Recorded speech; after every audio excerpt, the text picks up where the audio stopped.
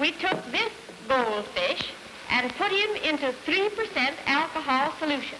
He died in 40 minutes. We then put him into uh, pure alcohol to preserve him as a specimen.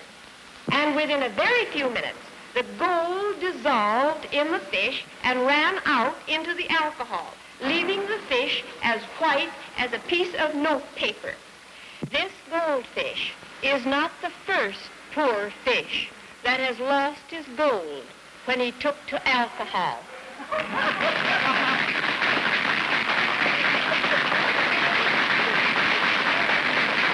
Marijuana alters your perception of reality. It does uh, create a condition within the mind where the ideas move very uh, fluidly and without interrelation one to the other. It distorts your perception of reality. It may, in high doses, cause hallucinations, ideas of death.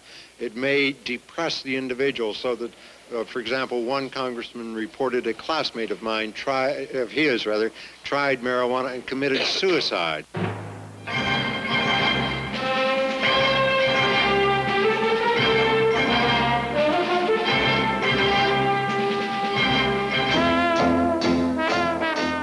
These are people breaking the law. For 14 years, from 1919 to 1933, the great majority of Americans protested against prohibition. They deliberately broke the law which said no person shall manufacture, sell, barter, transport, import, export, deliver, furnish, or possess intoxicating liquors.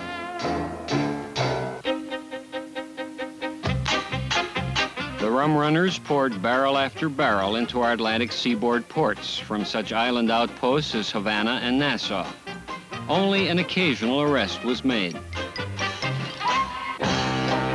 When federal agents destroyed an Al Capone brewery in Chicago, the notorious gangster complained of the double standard. When I sell liquor, he said, it's bootlegging.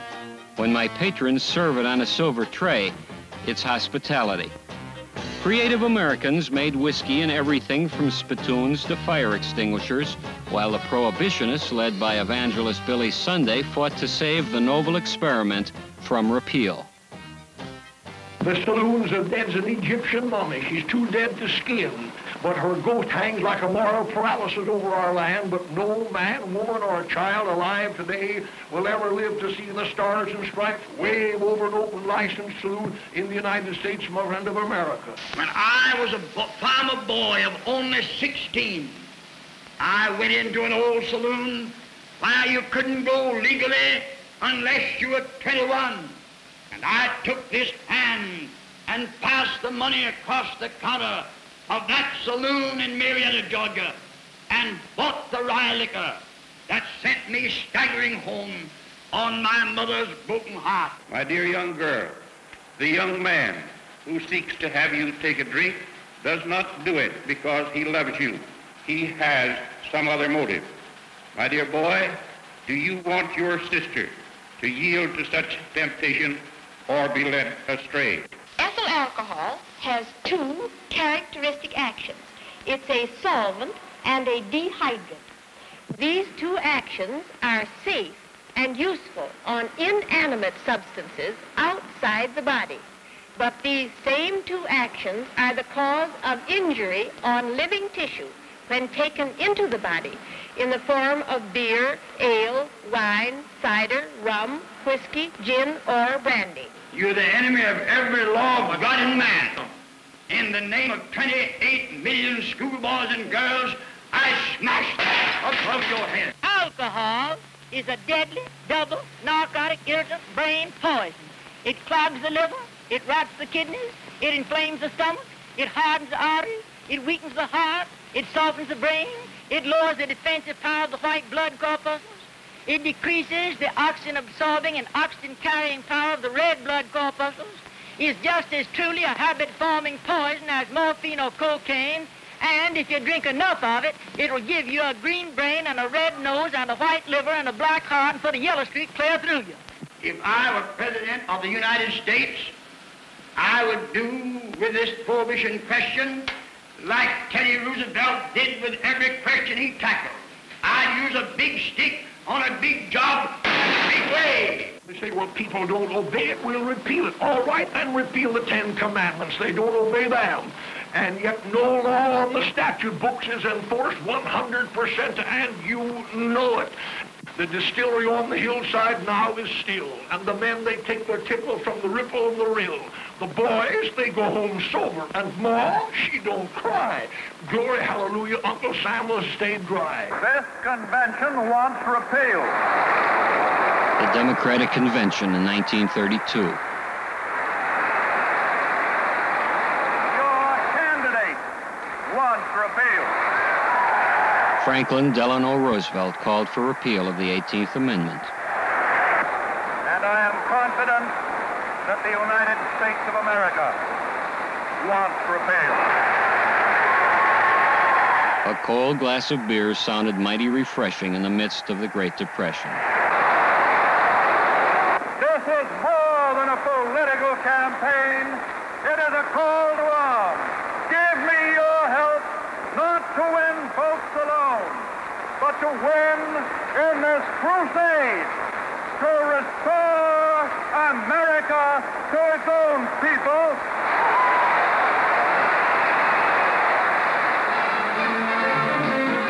Franklin Roosevelt's landslide victory in the November election gave Congress ample reason to act. A resolution was quickly approved, providing for an amendment calling for the repeal of prohibition.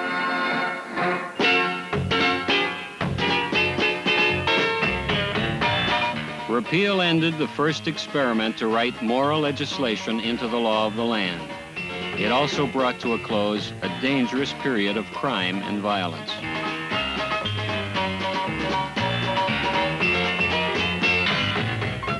When America looked back, few could understand how prohibition had ever been allowed to happen in 1919. Comedian Will Rogers explained it.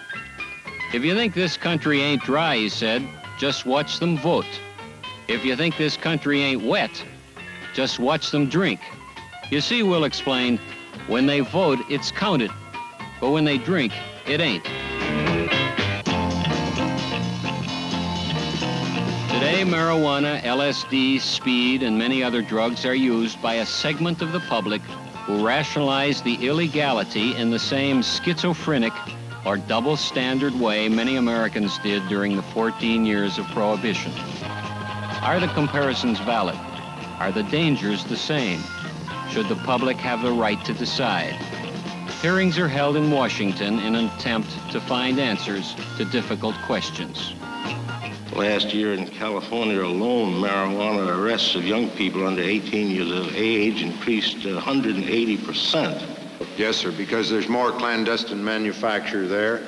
Also, more opportunity for illegal importation of the drug across the borders of the uh, North and South. But there's a great element of danger in the secret use or abuse of these drugs.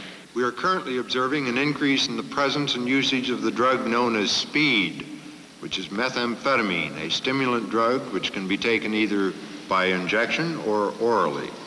Even in the hippie communities, the word is out, speed kills. The truth is we're ignorant regarding the actual amount of drug abuse in this country. It's a, it's a very difficult fact to ascertain. We have to be very careful when we talk about use to define use and not throw together the young person who has tried any of these drugs once in, in the spirit of adventure, in the spirit of seeking, in the spirit of uh, wanting to know what it's all about. With those, with that relatively small group, which has made drug use an important part of their lives. I think it's not a crucial difference whether 15% of our college students use marijuana or LSD or whether it's only 6% as uh, has been reported by different investigators. It seems to me the problem would require a solution if it were just 1% or less, and I'm sure you agree. as I understand the uh, legislation itself, uh, LSD will be a misdemeanor. Marijuana is 10 years, which of course is a felony.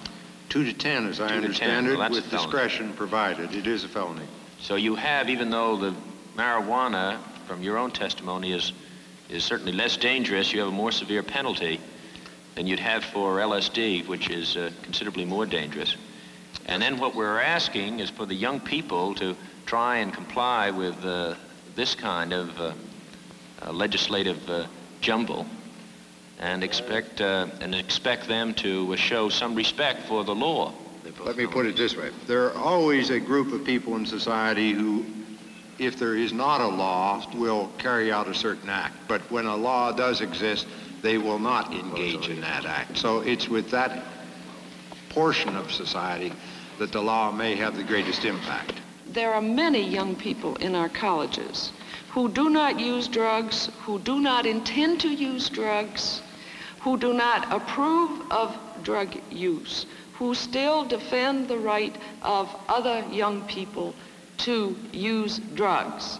At the same time, we must consider the changing attitudes among our young people, particularly, who regard drug use, particularly marijuana use, with alarming tolerance. Alcohol is our most widely used drug.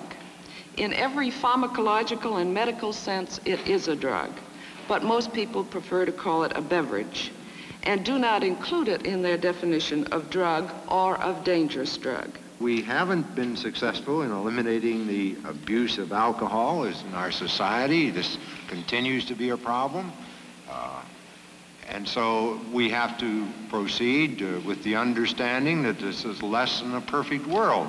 Every drug, and I'm talking now about alcohol, about nicotine, about caffeine, about medical drugs, all kinds of drugs, are potentially dangerous drugs. And I think this is the message that we must get to our young people. The problem must be viewed in the foreboding spectrum of things to come if we fail to deal effectively with it now. But I would like also to point out that if you think that the use of marijuana is purely a phenomenon of the college student, I think you are making a very great mistake.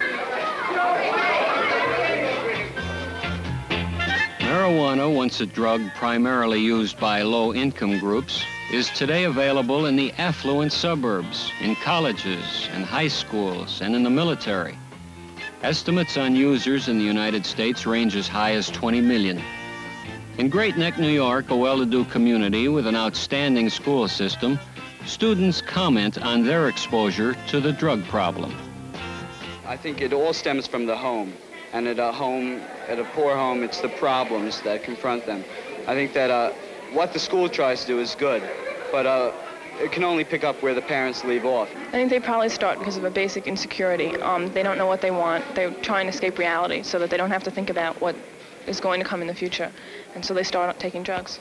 People who are not able to adjust to school life, to community life, I think these are the people who go to narcotics. I think that it definitely is, is a result of, a, uh, of this type of personality uh, rather than our uh, uh, Uh, active people who fit in very well in, in our community. Well, They have to escape from reality, from the world that they live in, and find a reality that they're happy in. What I found startling was the accessibility of drugs in Great Neck. Almost a quarter of the students in the school had seen people using drugs or had been able to purchase drugs at one time. This is the part of the poll which I found most surprising. People do have a tendency, once they hear about narcotics and dope, to blow it out of proportion. I don't think it's fair to Great Neck. Well, many of them are, are kind of bored with, with, with life at this point. Um, although I've been told that many adolescents of our age are bored with life at this point. Um, I just think they take it for kicks. Today, a young person with a narcotics conviction, regardless of his background, will find it difficult to enter teaching, law, or to gain employment in many industries. A young person who broke the law during the 14 years of prohibition was with the majority and in the main went unpunished. Protest is being heard today on both sides of the question. Should drug use be legalized or should the penalties for its use be made more severe?